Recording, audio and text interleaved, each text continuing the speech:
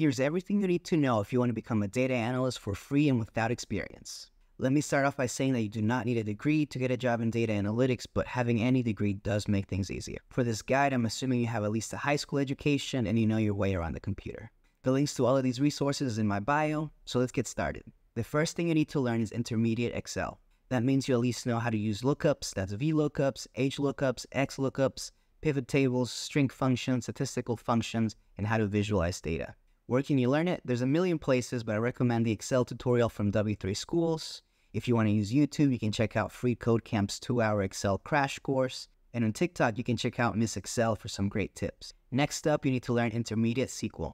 What does that mean? You need to know data types, the kind of joins and when to use them, group by, aggregate functions, window functions, data preparation, and performance optimization. My recommendation is the Udacity Free SQL for Data Analysis course paired with introductory and intermediate SQL courses from Solo Learn. Note that Udacity has two courses with the same name. One is free and the other is $400. So make sure to Google the free one or use the link in my bio to get you there. If you want to learn on YouTube, you can check out Alex the Analyst SQL playlist. And for hands-on practice that you can add to your portfolio, you can go through data with Danny's 8-week SQL challenge. And if you want to do over 200 SQL interview practice questions, you can go through Data Lemur, HackerRank, and LeetCode. I also have a couple of videos going through some of their practice questions. After learning SQL, you need to learn data visualization theory. For this, I'm going to recommend two books. See if you can request them from your local library so they're free. Otherwise, I've included links to Amazon.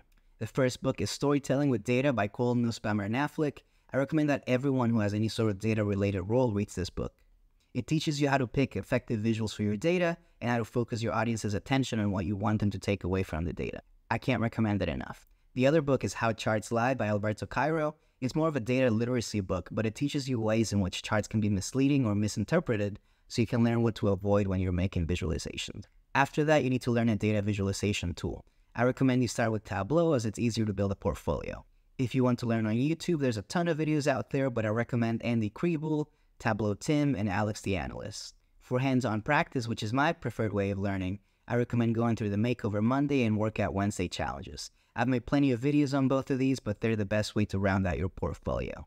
You're going to have to make a Tableau Public profile so you can publish your work. You can also download the Tableau Public applications. You can build dashboards for free. Or if you're a college student, check out my latest video to see how you can get the full suite of Tableau products for free.